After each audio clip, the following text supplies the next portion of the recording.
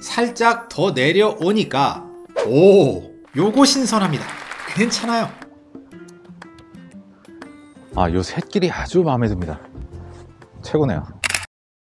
오산은 돈 쓸 데가 없어. 이 지역 20년 차 주민의 말입니다. 오산, 쇼핑이든 뭐든 대부분 1동탄, 2동탄으로 나가지 요 안에서는 뭐 딱히 별거 없다는. 하지만 이것도 이제 다 옛말, 라떼는 말이야 가 될 듯. 여기 갔다 오고 나서 단박에 느껴버렸지 뭡니까? 오산의 진정한 주거 독립도 더 이상 꿈은 아니라는 것을 토지 가격은 제목과 설명글에서 확인해 주시고요. 그럼 먼저 차로 한 바퀴 가볍게 돌아볼까요? 출발!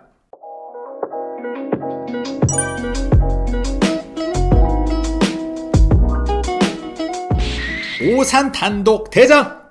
경기도 오산시 금암동 금암마을을 한마디로 표현하면 이렇습니다. 진심이냐? 너 그렇게 자신 있어? 오, 진정하시고요. 영상 다 보시면 아 충분히 그럴만하네 공감하실 겁니다.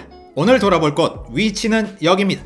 아파트 단지 한가운데 빼꼼하게 뚫린 잘 정돈된 택지지구. 가만 이런데 어디서 봤더라?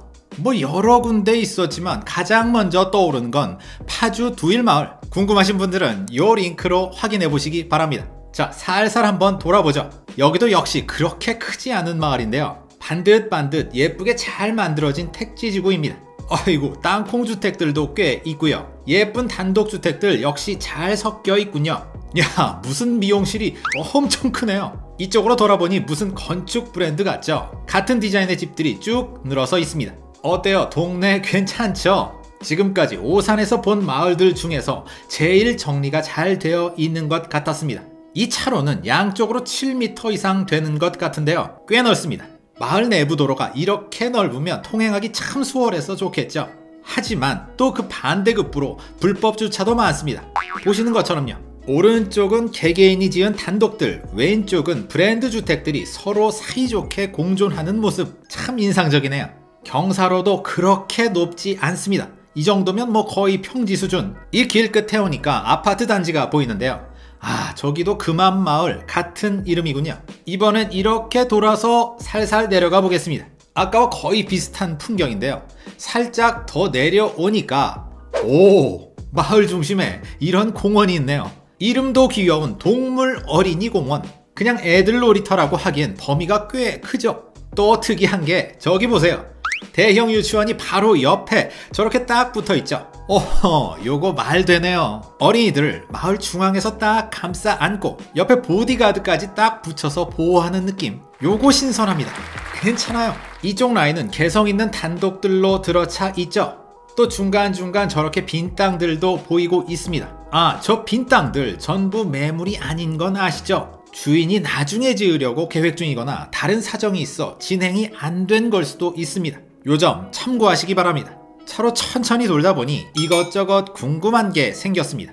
마을 내부 이 정도면 아주 훌륭한데 문제는 주변 환경 근처 도로망은 어떨까? 또 대중교통은 주변에 초중고만 들어와 있으면 아이 키우기 딱 좋은 환경 당연히 한번 둘러봐야겠지.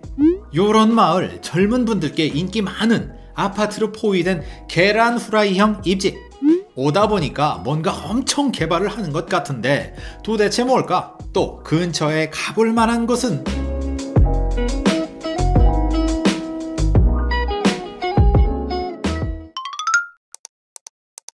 이 정도면 대략적인 이 마을 분위기는 파악되셨을 겁니다. 그럼 아까 떠올렸던 그 작은 질문들 저와 함께 직접 걸어보며 확인해 보시죠. 출발!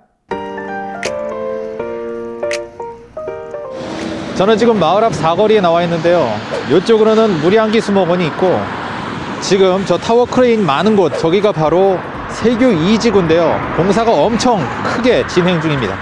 그렇다면 여기가 세교 1지구 저 밑으로 전부 신도시가 들어설 예정이죠. 자세한 건 조금 이따 확인해 보시고요. 먼저 주변 도로부터 체크. 가로로 요 길은 1호선 오산대역으로 가고요. 세로로는 지금 보신 세교 2지구로 이어집니다. 여기서 살짝 더 고개를 돌려볼까요? 오산대역 바로 옆에 붙어 있는 게 서울행 1번 국도. 마을 위쪽으로는 수도권 제2순환로가 도도하게 흐르고 있습니다. 이 정도면 거의 완성형에 가까운 도로망. 여기서 인프라만 잘 세팅된다면 더 이상 동탄에 기댈 일 없어 보입니다. 그렇다면 대중교통은 어떨까요? 야 앞쪽에 보시면 버스 정류장이 상당히 길고 많죠 세교 13단지인데요 다양한 버스가 서는 모양입니다 요런 건 확실히 신도시가 좋습니다. 사람이 많으니까 버스도 다양하죠. 저쪽엔 총 5대의 버스가 정차하는데요. 주목해 볼 곳은 바로 요 두 대. 먼저 1311 직행. 얘는 1동탄을 거쳐 경부선에 얹어 강남으로 향하고요. M5532 광역. 이 친구 역시 비슷한 코스로 사당역까지 가네요.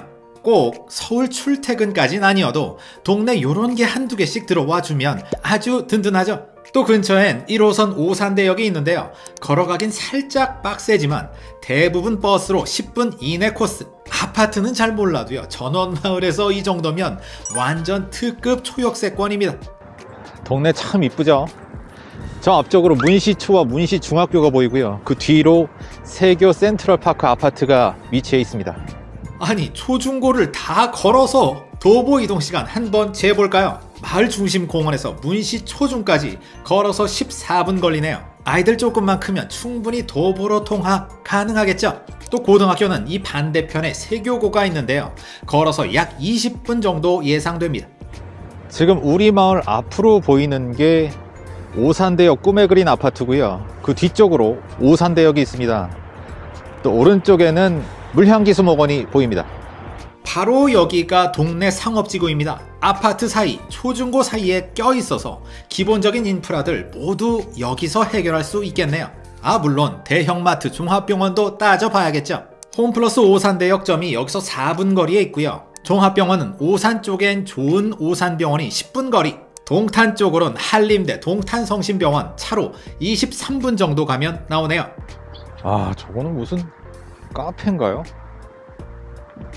허허 동네 호재라 하면 역시 세교 이지구 2023 4년 사이 입주를 목표로 현재 열심히 진행 중인데요. 한 번 엎어졌던 공사인 만큼 이번엔 잘 마무리돼서 더 많은 인구가 들어왔으면 좋겠습니다.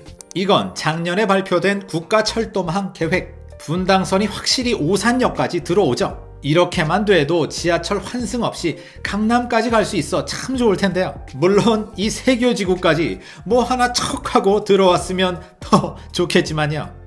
와 여기 진짜 고인돌이 있었나봐요 1호 2호 3호부터 8호 11호까지 있네요 와, 와 저게 진짜 고인돌이네요 주변에 가볼 만한 곳이요. 마을 바로 옆 앞마당 같은 공간이죠. 고인돌 공원이 있겠습니다. 보시는 대로 굉장히 디테일하게 잘 만들어 놨습니다. 요즘 같은 때 놀이공원 간다고 굳이 따로 어디 나갈 필요가 없을 듯 특히 문시 초중 아이들에겐 정서적으로 많은 자양분이 될 것 같네요. 또 조금만 걸어서 큰 길 신호등만 넘으면 오산 대표 관광지죠. 경기 도립 물향기 수목원 10만 평의 넘사벽 크기라 볼거리는 뭐 물어보나 마나겠죠. 게다가 이쪽으로 언덕 하나만 넘으면 나오는 중미령 평화공원 6.25 때 우리나라를 도와준 나라는 어디 어디일까? 여기 비석으로 다 나와 있으니까요. 아이와 함께 꼭 한번 들러보시길 추천합니다. 터키국 터키 형제국가 터키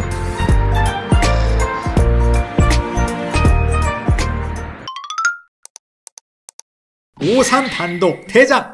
어때요? 이제 조금 공감하시겠죠? 이번에도 역시 제가 이 마을에 느낀 점 간단하게 정리해 보겠습니다. 먼저 장점은 이렇습니다. 또한 아쉬운 단점은 이렇습니다. 그럼 여기까지 언제나 시청해 주셔서 감사합니다. 주거독립 만세!